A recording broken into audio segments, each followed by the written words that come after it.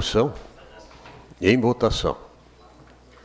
Solicito aos vereadores que registrem seus votos.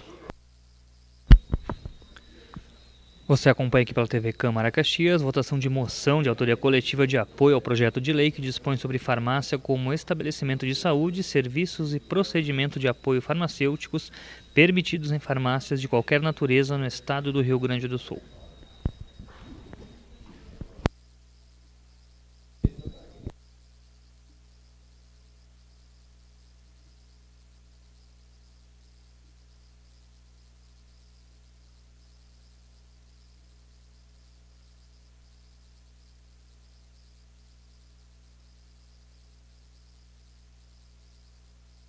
Encerrado o registro dos votos, vereador Fiuza vota favorável.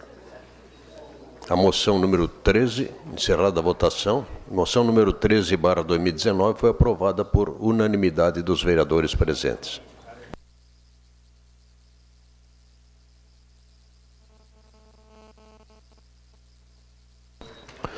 Em discussão única e votação, o projeto de lei 85 barra 2018, contido no processo 109